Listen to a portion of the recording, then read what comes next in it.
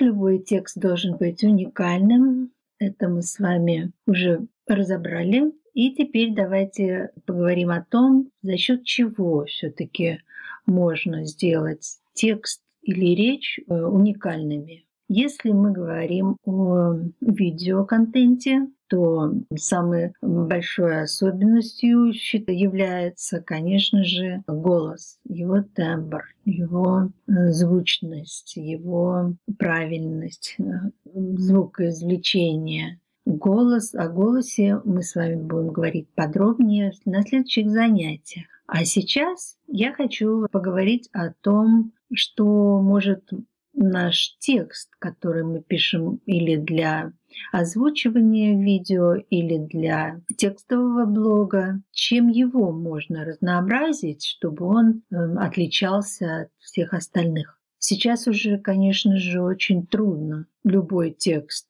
делать уникальным, поскольку уже все, казалось бы, сказано. Уже все обороты использованы, уже звучат уже такие банальности, штампы, и, и уже порой кажется, что из этого заштампованного мира никуда не деться. Однако есть некоторые средства, которые все-таки позволяют уникализировать любое повествование. И эти средства в языке называются тропы.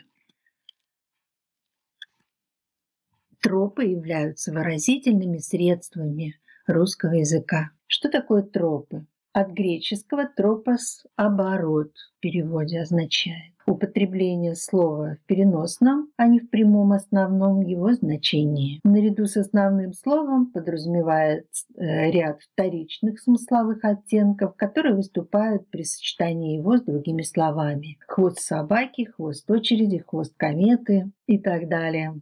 Вторичное значение слова при соотнесении его с другим дает новые, неожиданные оттенки смысла. Троп является общим явлением языка, но в художественной литературе приобретает особое значение, так как помогает индивидуализировать речь, в особенности авторскую. Переносное значение может придать речи и сочувственный, и отрицательный, иронический и тому подобный характер применительно к слову и тому явлению, которое за ним стоит сравнение с розой или сравнение с крапивой, например. Я вам зачитываю из краткого словаря литературно-ведческих терминов определение, что такое троп. Тут речь идет о художественной литературе. Как мы уже с вами говорили, в журналистском тексте немножечко другие правила, но это то, что касается по большей части в новостных текстах, ну и в самом составе текста, то есть в его, в его структуре. А что касается выражения, то тут каждый журналист и каждый блогер, который захочет сделать свой блог неким таким сайтом журналистского толка, например, вот такой сайт для школьников, может как раз разнообразить язык, применяя вот эти вот самые тропы. Почему я об этом говорю? Хотя, казалось бы, блогер тут, тут, тут при чем? Хочу сразу оговориться, что я затеяла этот курс и потратила на него уйму времени на разработку. Не просто знакомление с таким понятием, как блогинг и блогосфера, мне интересно, когда блог имеет какое-то сходство с журналистикой, то есть, скорее всего, мой курс подойдет людям, которые хотели бы свой собственный блог вести как средство массовой информации, мини, минимизированное средство массовой информации. А почему нет? Вполне имеет право. Вот для примера можно посмотреть вот такие замечательные блоги. Вот э, блог «Лента дня» — это все телеграм-канал. «Лента дня» по, по типу блогов текстовых. Тут ребята так классно креативят.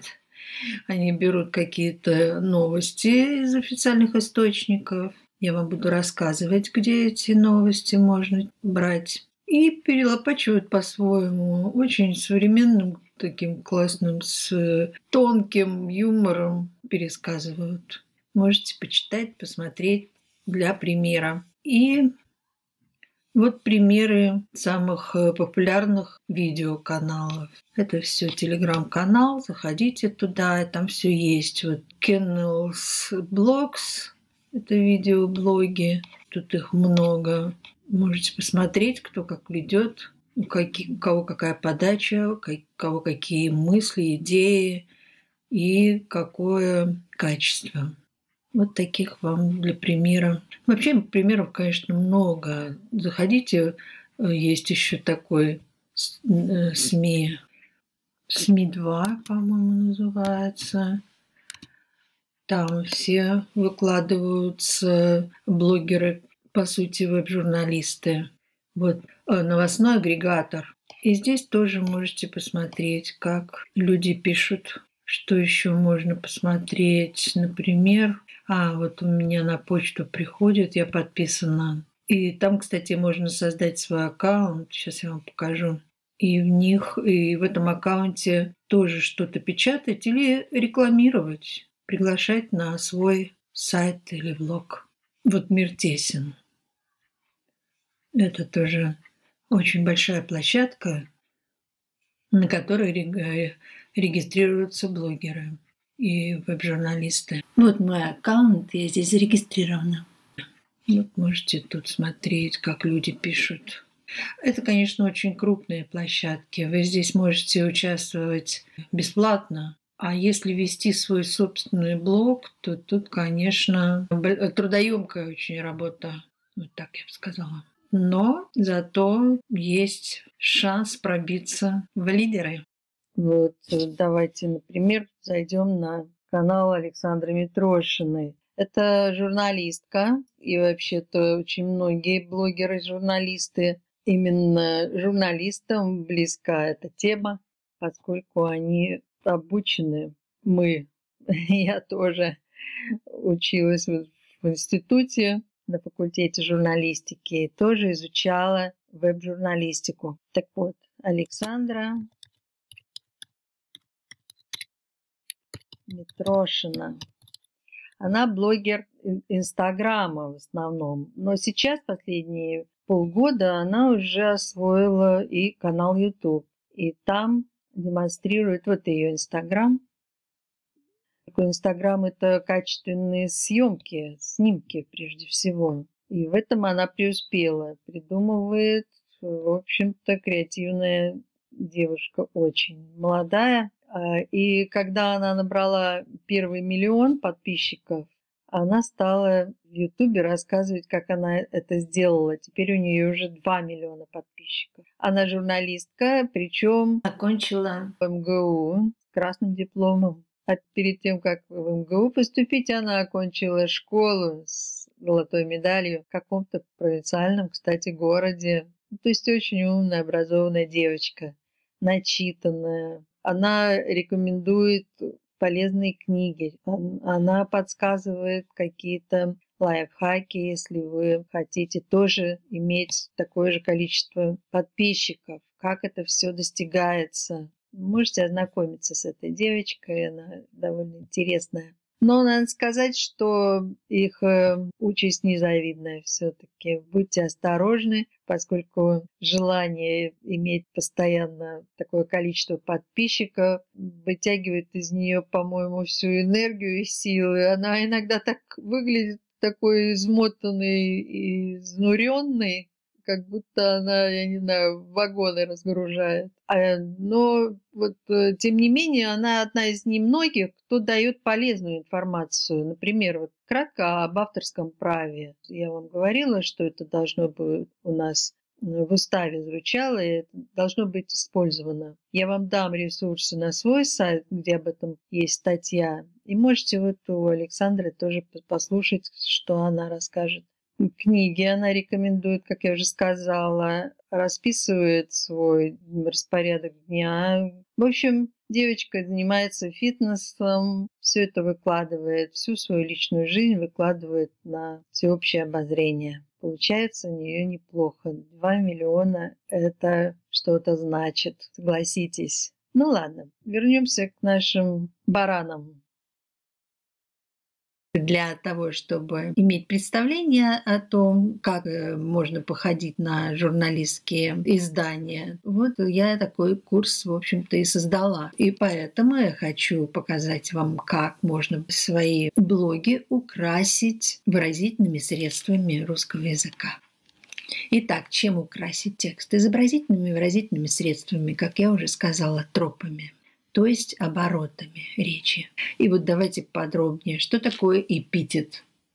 Надо сказать, что тропы, если их э, не изучать, то можно их все и перепутать, потому что они все будут иметь иносказательное значение, да? Ну, просто для ознакомления, так сказать, для повышения своего IQ не лишним будет вам узнать, что эпитет означает с греческого приложение, то есть определение, придающее выражению образность и эмоциональность, подчеркивающее один из признаков предмета или одно из впечатлений о предмете. Эпитет широко используется в поэтическом языке. И вот такой эпитет «Мороз воевода дозором обходит владения свои» у Некрасова. Я привожу примеры классические, а вы уже можете себе подбирать, какие вы придумаете. Мороз воевода в данном случае эпитет, да? А владение – это тоже эпитет.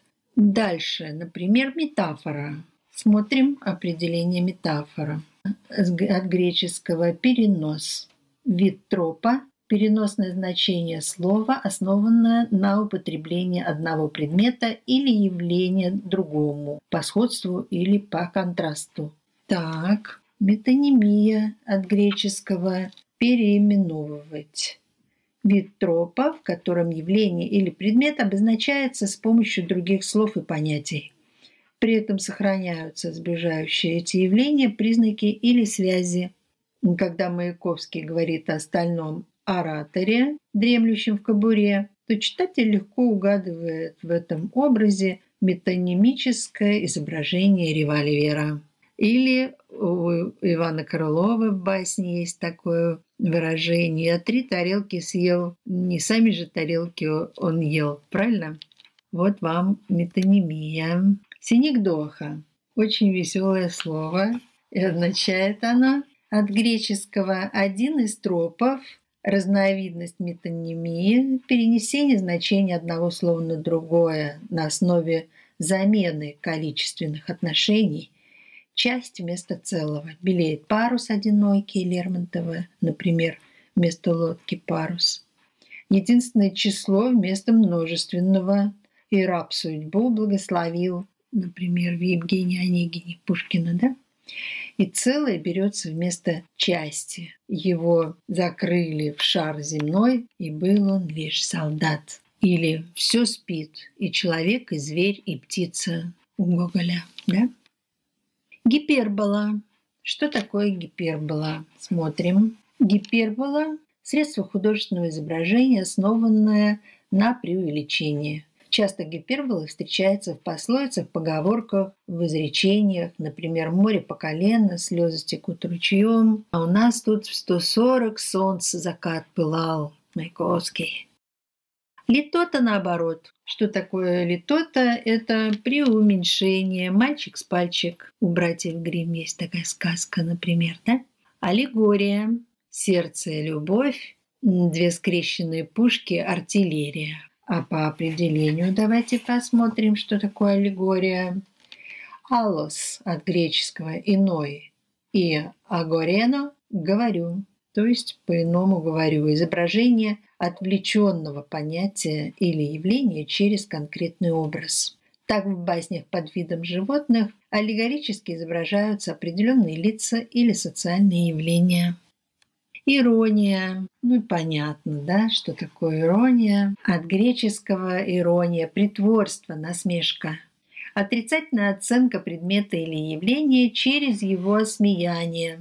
Комический эффект в ироническом высказывании достигается тем, что истинный смысл события замаскирован. При иронии мы высказываем прямо противоположное тому, что подразумеваем. Откуда умная бредешь ты голова? У Крылова есть такая басня. Видимое восхваление означает здесь как раз обратное, насмешку над ослом. Вот, я вам говорила о том, что с иронией в серьезных текстах нужно быть поосторожнее, например, в новостных или по отношению к каким-то серьезным людям. Иронию можно использовать в каком-то там развлекательном смысле. Хотя цель иронии, конечно же, в обратном. Не смешить и развлекать, а напротив, подчеркнуть всю серьезность, порой даже трагичность положения и ситуации. Насмешка создается тем, что обнажается нелепость происходящего. И к этому способу иносказания прибегают, можно сказать, смело все крупные писатели, потому что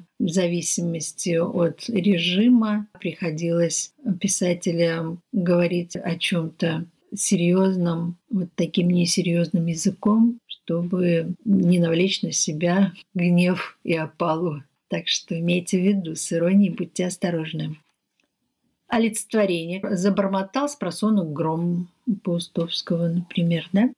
Овеществление. Гвозди делать из этих людей крепче не было в мире гвоздей у Тихонова. Перефраз. Царь зверей лев, Туманный Альбион, Англия и так далее. Этих фраз очень много. Можете или придумать сами, или ввести в интернете перефразы, там найдете массу-массу этих значений иносказательных. Вот так, если вы будете использовать в своих речах и текстах вот такие вот выразительные средства, то смею вас заверить, что вы будете очень сильно отличаться от скучных, рутинных каких-то сообщений, которые уже никому не интересны и которые никто уже не читает.